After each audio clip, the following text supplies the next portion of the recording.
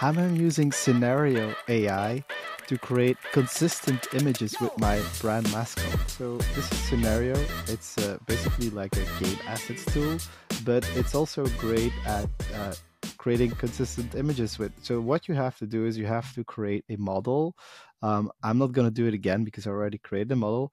But basically what you do is you need to have a batch of images uh, that you can train the model on. So basically what I did before was I already created the mascot with ChatGPT. You can go check out that tutorial over there.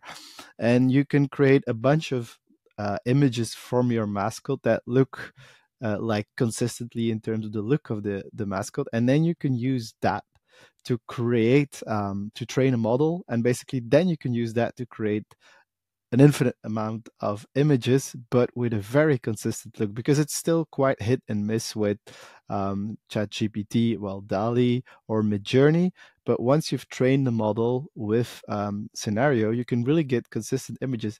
And the thing what what I actually did is I I created multiple models. So Otto one, uh, Otto is the name of the mascot. Um, was these were actually all images I got from ChatGPT, but as you can see, like they aren't really perfect yet. But what I did is I then created Otto 2, which was basically already using images from Scenario. So better versions that I got out of Scenario to again train. And then I got the model to be honed in a bit more. And then I created a final model well, at least uh, one more, which is Otto 3, where I train it a bit more, for example, on how it, it can use um, how it can hold items and stuff like that. So now it's able to hold a smartphone and to spread its wings, so to give the model a bit more diversity.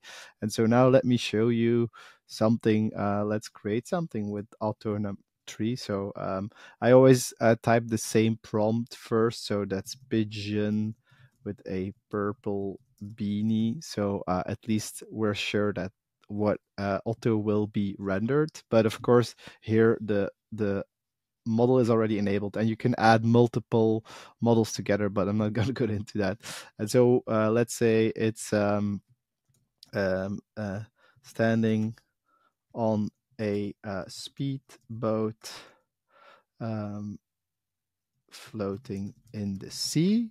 I don't know. So voila. Let's see what that gives us. It's generating the images. And of course, as always with generative AI, we have to do some um, waiting and also some testing. Et voila. There we have image one. Look, it's on a speedboat there is some uh, weird other pigeon floating around.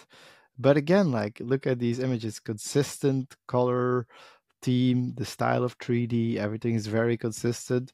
Let's say I wanted to have him um, hold a baseball bat. Uh, let's do that. Yes, holding a baseball bat. Uh, there's one more coming. Uh, this one is a bit weird, but as you know, you have to iterate. But I mean, this looks great. The look is very consistent, and I can basically go on and create uh, endless images with my mascot. You can see here.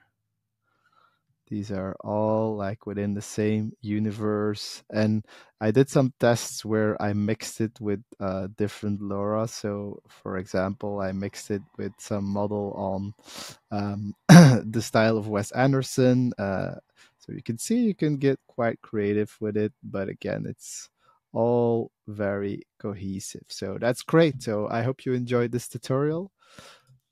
Et voilà. Ciao.